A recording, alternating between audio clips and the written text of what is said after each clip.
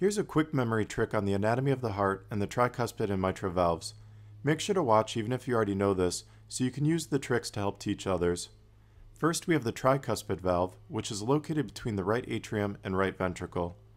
Next we have the mitral valve, also known as the bicuspid valve, which is located between the left atrium and left ventricle. There are several ways you can remember the tricuspid valve is on the right and the mitral valve is on the left. You can use the saying, try it before you buy it, to remember the tricuspid valve comes first. Another trick is the letters tri appear in the word right to remember the tricuspid is on the right. Finally, you can use the lungs as a reference.